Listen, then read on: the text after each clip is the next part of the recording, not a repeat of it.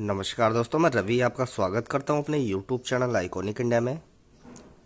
और दोस्तों, आज की इस वीडियो में जो मैं टॉपिक कवर करूँगा, वो करूँगा टू रुपी कोइन ईयर 2000 2000 काफ़ी सारे मेरे सब्सक्राइबर्स हैं जो मुझे अलग अलग मिंट्स मार्क के लिए जानकारी के लिए फ़ोटोज़ भेजते रहते हैं इंस्टाग्राम पर और मेरे ईमेल पर।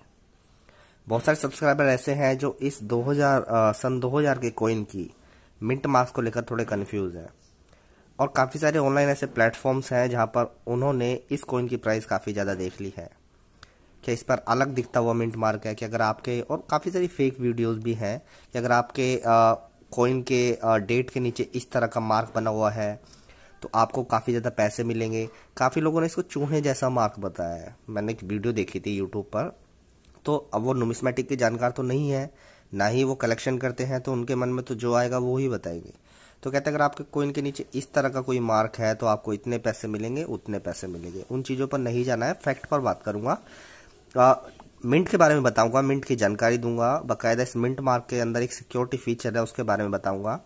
और बहुत सारी इंटरेस्टिंग चीज़ें इस कॉइन के बारे में आपको बताने वाला हूँ, ये भी बताऊँगा कि वैल्यू कितनी है, अगर आपके पास ऐसा सन 2000 का टू रूपी का कोइन अवेलेबल है।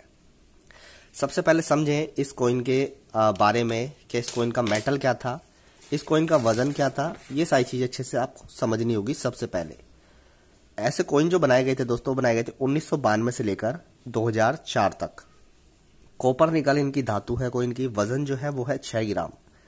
अब इनका जो साइज़ है वो है 26 सिक्स mm.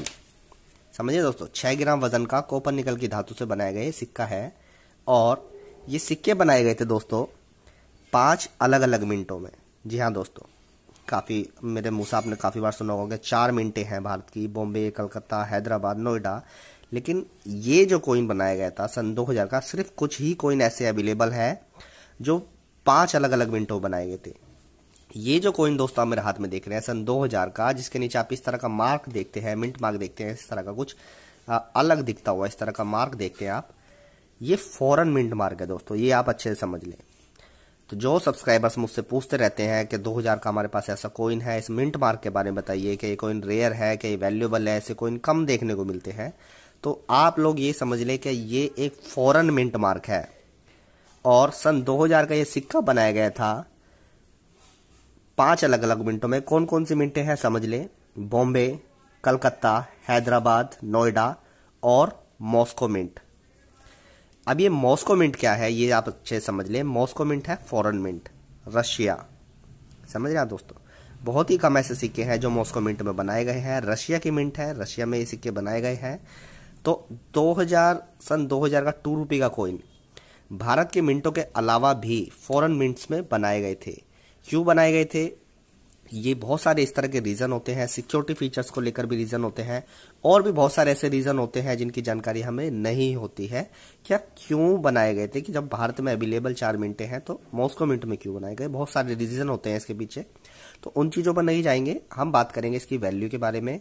हम बात करेंगे क्या ये सिक्का कलेक्टेबल है या नहीं है। अब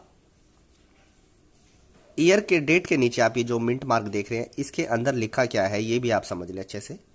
इसके अंदर लिखा है दोस्तों एम एम डी इस छोटे से मिंट मार्क के अंदर भी स्पेलिंग के मीनिंग्स लिखे हैं M M D security feature है ये एक। अब कीमत की बात करें तो ऐसे सिक्के नॉर्मल वैल्यूज़ के हैं।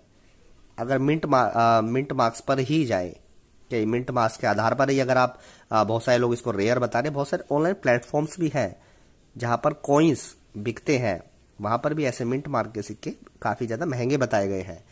तो अगर हम इसी आधार पर जाए तो ये नॉर्मल कोइन है। ना ही मैं इसको कलेक्टेबल बोलूँगा, ना ही मैं इसको ये बोलूँगा कि ये कोइन रेयर है। बहुत सारे ऐसी इनकी जो मिंटेज है, बहुत ज़्यादा है हाई ज़्यादा है इनकी मिंटेज और वैल्यू नहीं की होती है, जिनकी मिंटेज लो होती है। कीमत की बात करें तो मॉस्को मिंट का ये सिक्का आपको दे सकता है, पाँच रुपए से लेकर पंद्रह रुपए डिपेंड करता है कि आपके कोइन की कंडीशन कैसी है। ये चीज़ अच्छे समझने वाली है।